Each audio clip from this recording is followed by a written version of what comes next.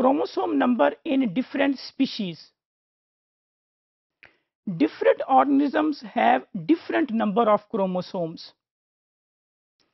Most organisms have chromosome number between 12 to 50, but it can vary species to species.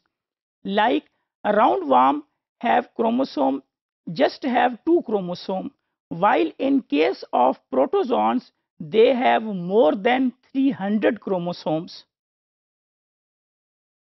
In case of fungi, they have 3 to 8 chromosomes, while in case of angiosperm, they have 8 to 16 chromosome. But in most of the angiosperm, they have chromosome around about 212.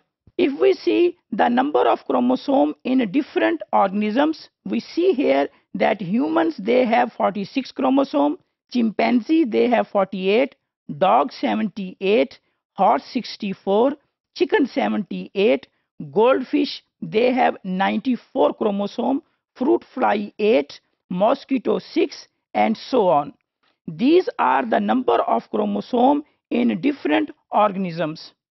On the other hand, if we see number of chromosomes in different plants, in case of onion, there are 16 chromosomes. Mold also has 16 chromosomes.